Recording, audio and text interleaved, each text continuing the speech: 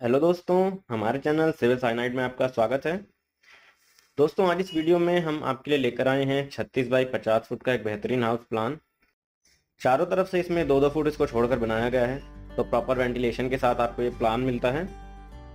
और इस प्लान को शुरू करने से पहले मैं एक ब्रीफ इंट्रोडक्शन दे देता हूँ आपको कि इस प्लान में आपको क्या क्या मिलने वाला है। छत्तीस बाई पचास फुट के इस प्लान में आपको मिलने वाले हैं तीन बेडरूम एक living area kitchen dining car parking के लिए बहुत सारा space common attach toilet staircase तो दोस्तों, ये प्लान मैं आपको बहुत अच्छे से समझाऊँगा। समझने के लिए वीडियो को एंड तक देखिए। मेरा नाम है सरफराज और आप देख रहे हैं हमारा चैनल सिविल साइनाइट आइए दोस्तों, शुरू करते हैं।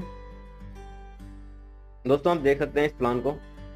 जैसे कि मैंने बताया आपको 36 बाई 50 फुट में इसको बनाया गया है। यहाँ पर गेट लगाया गया है। ठीक सामने ही कार पार्किंग है। दस फुट नौ इंच बाई साढ़े पंद्रह फुट का आपको ये पार्किंग स्पेस मिल रहा है। और स्टेयर केस भी हमने इसी ओपन एरिया में लगाया है, ताकि अगर आप डबल स्टोरी हाउस को बनाते हैं तो ऊपर वाला फ्लोर यूज़ करने के लिए ग्राउंड फ्लोर में रह रहे मेंबर्स को डिस्टर्ब ना करना पड़े।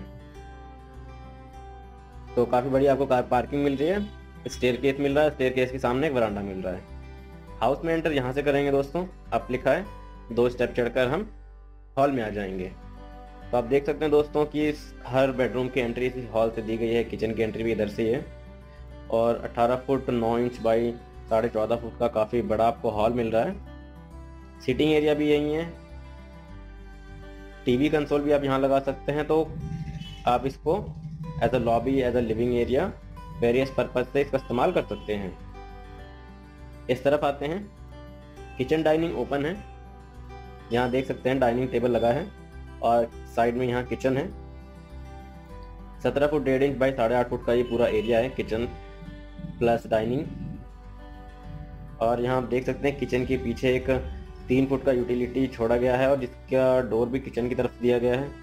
यहाँ देख सकते हैं अलमारी के लिए भी जगह है किचन में तो आप इसमें काफ़ी सारा सामान रख सकते हैं। किचन के वेंटिलेशन के लिए विंडो इस तरफ़ लगाई गई है, पीछे की तरफ़।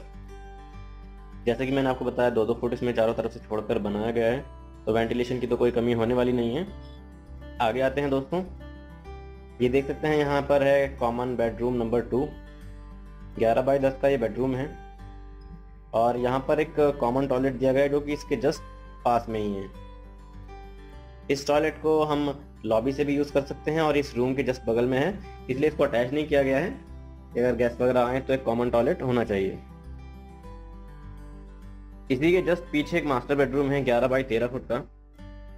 चार बाई आठ फुट के टॉयलेट को इसमें अटैच किया गया है। आप इसमें वार्ड्रॉप यहाँ बना सकते हैं, इसकी विंडो पीछे की तरफ़ भी लगी है और साइड में भी लगी है, क्योंकि दोनों तरफ़ ओपन है। तो क्रॉस वेंटिलेशन इसमें बहुत अच्छा होगा।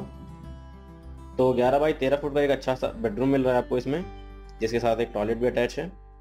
इसी के जस्ट सामने 10 बाई 13 का एक और बेडरूम है। इसके साथ भी हमने 4 बाई 8 फुट के टॉयलेट को अटैच किया है। आप देख सकते हैं इसमें वार्ड्रॉप भी लगाए गए हैं दोनों रूम्स में। और इस वाले रूम की विंडो पीछे भी लगाई गई है साइड में भी।